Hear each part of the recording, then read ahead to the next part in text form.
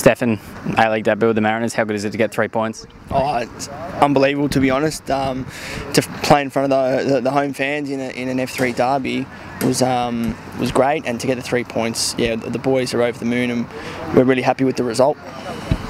A, a key part of the goal, I guess, there you were, you know, with the free kick. You said before you've never taken a free kick at A-League level. Is it a bit of a special one getting an assist on debut? Yeah, it was yeah, it, it is a good feeling to get an assist. I mean, the boys put themselves in the right position, um, and Alou credit to him. He, he, got his head on it, and we scored. And the main thing is we got the three points and a clean sheet. And um, you know, focus now is on the, the, game against Macarthur on Sunday. But you know, we'll recover right and, and get ready for that.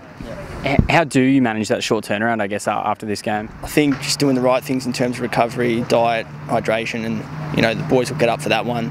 Uh, we've got a lot of belief in what we're doing, a lot of trust in the system and what, and what um, the coaches have, you know, uh, in terms of tactics, and, and every, you could see that tonight. We, you know, worked really hard for one another and um, put in a great shift and, and got the three points. How, how, satisfying is that when you know everything comes together, you execute the game plan and and it come out ahead? Yeah, that's that's what you know. That's the main part of football. You know, we we trust in what um, the coaches uh, in terms of tactics have given us.